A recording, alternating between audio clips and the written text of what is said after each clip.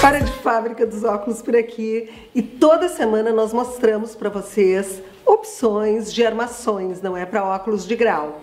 A gente mostra muita armação de acetato. Isso. Hoje vieram as de metal que são maravilhosas, tão lindas quanto. As pessoas exigentes, né, É. cara? Não, vamos começar com exigência. É. Daí a gente já começa assim, ó, isso aqui é minha cara, ó. Rodenstock. É, só. Não, um luxo. Olhem que óculos mais lindos. Eu adorei esses aqui, assim, que eu acho que eles têm, assim, uma vibe bem contemporânea, É. não é aquela coisa meio futurista. Quem não abre mão do douradinho também gosta. Sim, tem os dourados, tem prateados, ó, e aqui na lateral com tartaruga. Aqui, ó, gente, essa bandeja aqui, a gente pode carregar toda ela. O que que tu acha, Gustavo?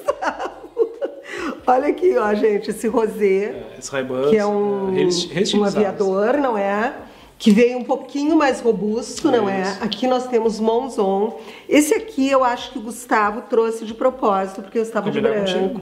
Ó, Isso que eu não sabia Isso aqui sou de eu. branco. Essa sou eu. O rosé, ó. É, o rosé é lindo. O rosé é maravilhoso.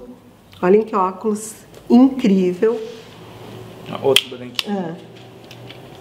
É um mais lindo que o outro, não é? Gustavo, deixa eu te fazer uma pergunta.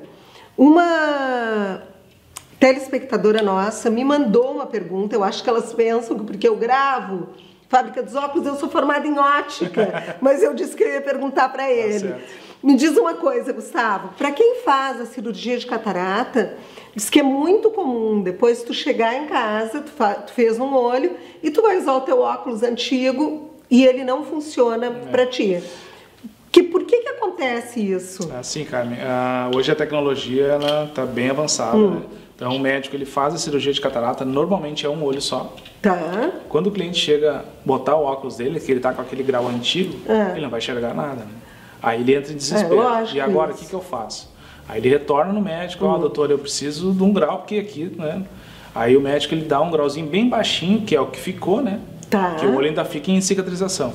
Aí ele vai até a loja, a gente faz só meio par. Só, Ah, só uma só uma lente. lente. Até ele, de repente, fazer a, catarata do outro olho. Claro. Ou se ele não precisar, de repente, né, tem a catarata em um olho só. Mas o problema todo, Carmen, é quando é uma lente fotossensível ou transition. Tá? Que daí Tá. fica assim, ó. É, deve o que que eu bagunçar, né? é, o que, que eu faço?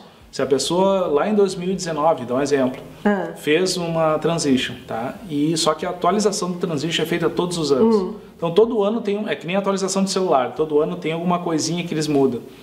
Se eu fizer uma lente atualizada hoje, transition, lá aquela lente que ele fez, Sim, ela fica já. ela já fica com cores diferentes e uma escurece mais do que a outra. Isso, lembrando, gente, que transition é aquela lente que quando tu sai na rua, ela escurece, Ela escurece.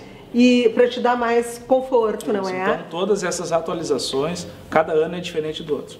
Então a lente que foi feita Daí lá em teria que trocar as 2020 duas, tem que trocar as para duas. não ficar diferente, E né? isso às vezes a pessoa não entende. Mas é que a gente tem que explicar toda essa parte Claro. técnica para que dê certo. Na hora que ele for pro sol, as duas lentes fiquem iguais, né? Perfeito. Mas a incolor é tranquilo. Tranquilo, troca Tranquilo. uma, não é? Troca Então, assim, ó, quando quiserem saber, eu não sou formada em ótica, mas nós temos aqui um Isso, expert no fala comigo. assunto. É só mandar um WhatsApp para a Fábrica dos Óculos ou dar uma chegadinha lá na Berlim de Encontro com a Nova York, é uma quadra da Benjamin Constant. E se você quiser escolher os seus óculos, mas não está conseguindo ir na Fábrica dos Óculos, é só ligar para o Gustavo com a receita em mãos que ele vai até você. É isso aí, semana que vem tem mais. Combinado.